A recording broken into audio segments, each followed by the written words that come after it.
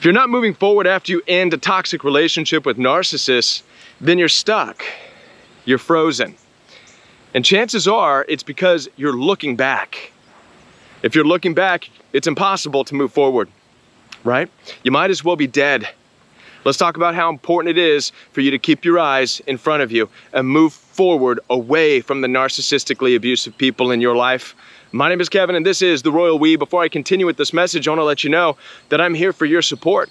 I know you're hurting and confused coming out of narcissistic abuse. I do take one-on-one phone calls. In addition to that, I have a brand new life coaching program where I teach every day, Monday through Friday, live with questions and answers. It's only $49 for the entire month. You cannot afford to miss out on it, especially those of you who are trying to start a brand new life.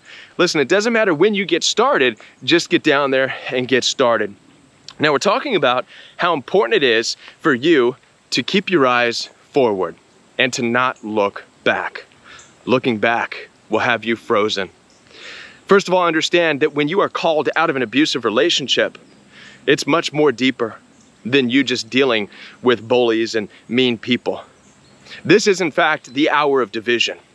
I want to share some ancient literature with you, ancient scripture that talks just about this. I believe it uh, was Jesus that said in the New Testament of the Bible, I did not come to bring peace, but a sword, and I will divide mother from daughter, father from son, brother from sister. I will divide up families. Nobody really understood those scriptures and what it meant, what it was referring to, we do now. A lot of people call this day and age that we're living in as the Great Reset.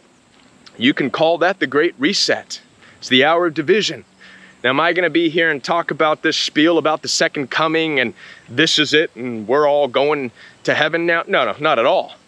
But I can definitely recognize this hour as the hour of division. That makes sense. Why? Because we're all divided.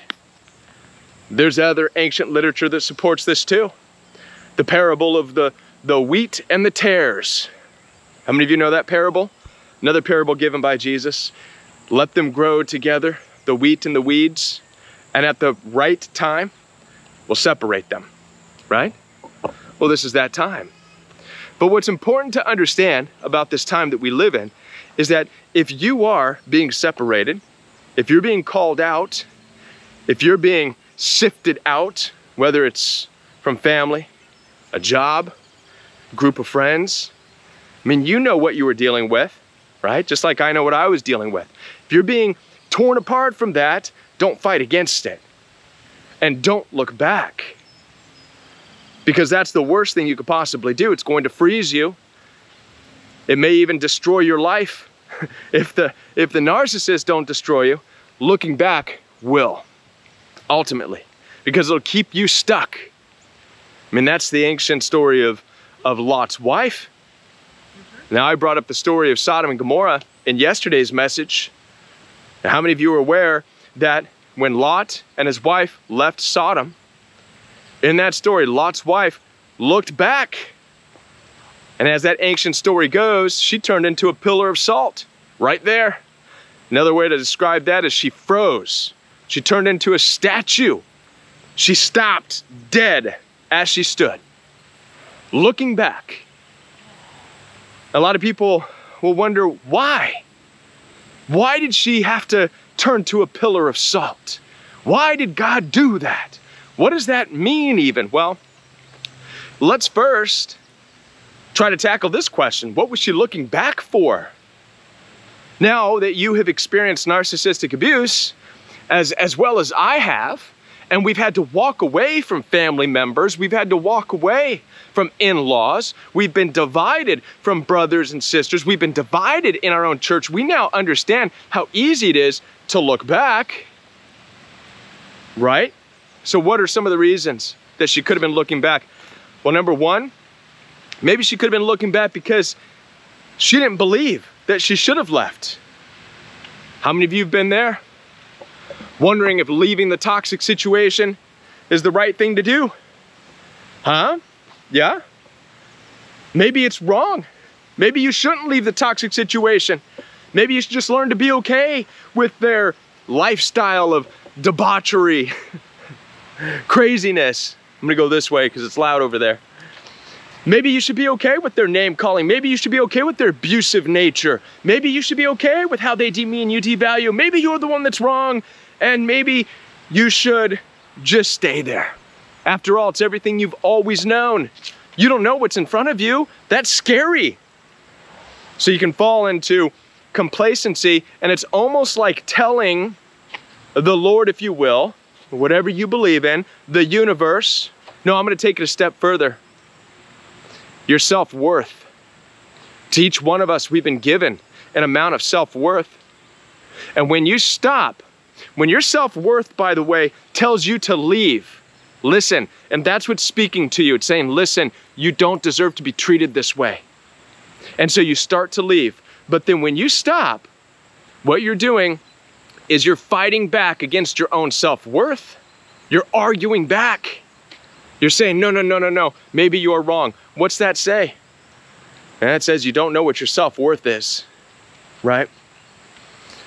So, one of the reasons is you may think that you're wrong, that you may fight against your own self worth that you've been given and stay. And so you want to look back and stay.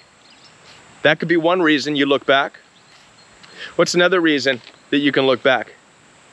How about looking back to see if if to see if those people are being destroyed? How many of you have wanted to look back just to see if they're getting some form of karma? Look back at the narcissistic family, hoping to see them destruct and self-destruct and hopefully they're tearing each other's eyeballs out, right? Over what they did to you, right? That way you can stand there and, and applause and say, yes, yes, now that I'm gone, you could all tear each other apart, right? Or now that I'm gone, I can watch you be destroyed. So there's a couple of reasons, a couple of ideas that you and I can toss around as to what would cause Lot's wife to look back at Sodom. So she looked back for one of those reasons. Either she thought that she was wrong for leaving, which by the way, means she can't move forward. Or she looked back because she wanted to see Sodom punished, which means you also can't move forward. Either way, you can't move forward. Either way, her heart froze because it was in the wrong place. She turned to a pillar of salt because she was in the wrong place. She wasn't in a place to move forward. She was only going to trip everybody up. She was most likely going to be the one who would say, Stop, slow down, wait, let's look. No, stop, no, let's not go too far. No, come on, stop, look back at Sodom. Come on, no, don't. Hey, Lot, stop, stop. Right? But the calling on Lot to get out of there was so great that it could not be interrupted. Now, I'm under the, under the personal belief from all this that number one, yeah, don't argue and don't fight against your self worth. You can call it self worth, you can call it the Lord leading you out, whatever the case is. I'm under the impression, don't argue with it. When your self worth speaks and says, get out, you get out. It's for a reason. I'm also under the impression that don't look back looking to find karma. Don't look back and look at these people. Don't try to watch God destroy something. I'm under the impression that God's not down with that, according to the ancient literature right? Nothing's going to upset him more than somebody who wants to be a looky-loo and see God's judgment poured out on something else. Don't do that. Just move forward. Trust that your life is forward. It's in front of you.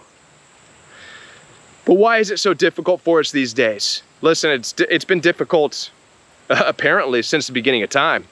If Lot's wife was looking back, it's no wonder we look back. But we have to pay attention to what makes it so much more difficult for us. We have a lot more things that attach us and a lot more things that we have to pay attention to. Listen, you cannot leave an abusive relationship but still connect with them on social media. That's big time looking back, right? You can't be doing that. You got to get rid of them on social media. You got to get rid of their telephone numbers. You got to get rid of their mailing address. Listen, when the Bible or, or the ancient literature or even, even it, it doesn't have to be the Bible. It could be in, in the world of psychology. It could be Dr. Ramani. She's going to tell you, have nothing to do with these people. Get away from them. And get away means get away.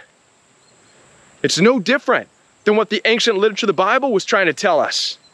Get away from these people. Have nothing to do with ill-tempered individuals. It doesn't mean you can't be kind to them if you come across them, right? Toss one an apple. It means get away from them to cut the ties of intimacy. Your intimacy doesn't belong with the ill-tempered, with the narcissist, with the controlling, manipulative, what Dr. Jordan Peterson would call the dark triad. Your intimacy does not belong with these people, right?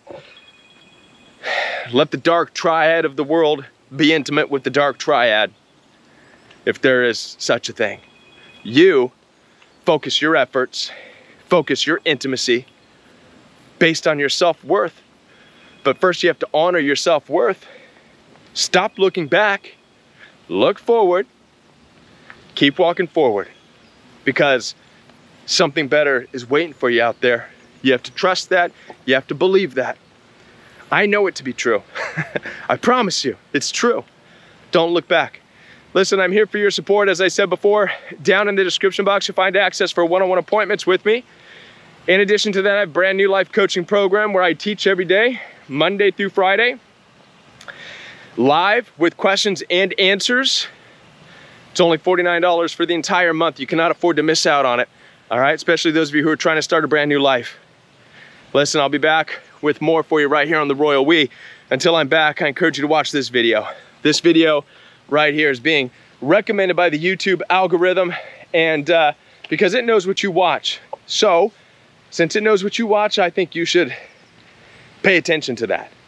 I mean, it's paying attention to you, so pay attention to it, I guess, right? I'll be back more videos right here on the Royal We.